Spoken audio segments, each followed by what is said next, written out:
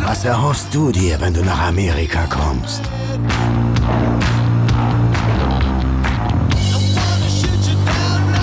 Nico Bellic kam aus Osteuropa nach Liberty City, um seiner Vergangenheit zu entkommen. Doch jetzt holt sie ihn wieder ein. In Liberty City auf der Schattenseite des amerikanischen Traums.